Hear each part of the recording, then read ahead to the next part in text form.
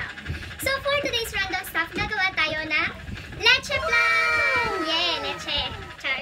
So, ang first natin gagawin ay magka-caramelize tayo ng sugar. So, kukuha lang tayo ng 3 spoon of sugar tapos ilalagay natin sa mga ganera natin. So, ang gagawin lang natin is tutunawin natin siya sa low heat na apoy. Ayan. And yung hayaan masunog yung sugar, no? Yan, ganyan-ganyan lang natin, no? Yan. Medyo maproseso, medyo nakakapagod, pero kailangan. Kailangan ilaban niya. Yeah. Yeah, char.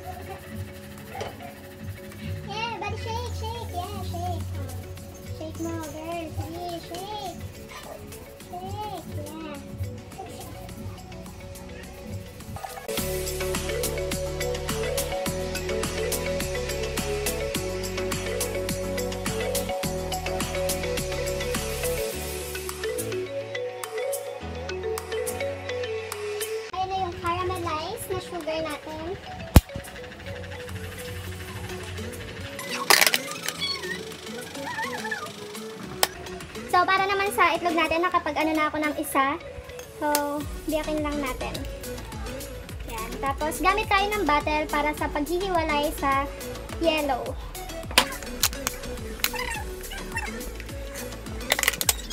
So, gawin lang natin ng paulit-ulit hanggang sa makagawa na tayo. 8 eggs yung kailangan natin. So, nasa inyo naman yung depende, no?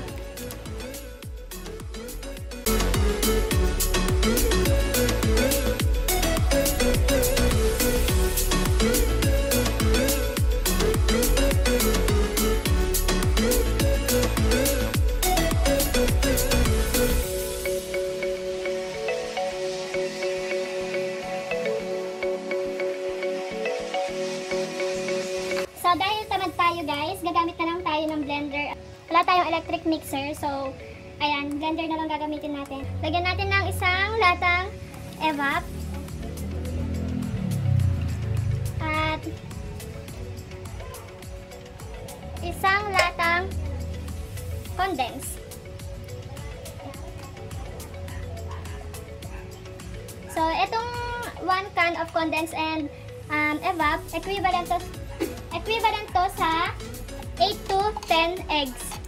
So, sa amin, 8 lang to. Ayan. Kasi large egg naman yung gamit namin. And, ayan, tumutin natin sayang. Binibili yan eh. Tapos, kung meron kayong vanilla, pwede nyo lagyan. Pero kung wala, okay lang. Mas maganda lang kasi kapag may vanilla, nawawala yung lansa. Kasi nga, di ba, egg yan. So, ayan. Lagyan natin ng isang kutsarang vanilla.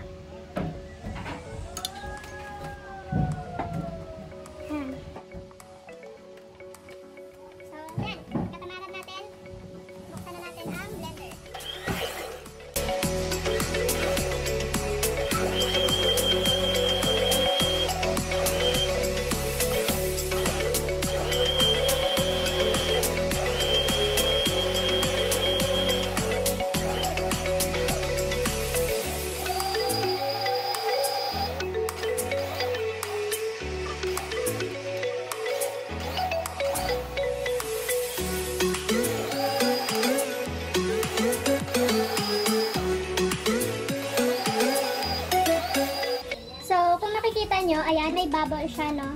So, ang gagawin natin, salain na lang natin siya para mas smooth yung leche flan natin.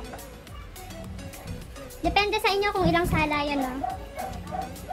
Pero kung gawain tamad, pwedeng isa lang din naman.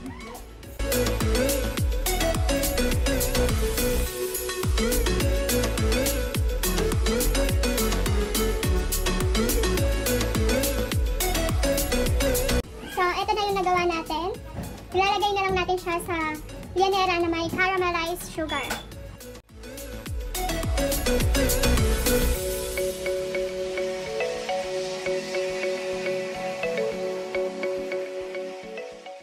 So, it's time to make balot-balot na.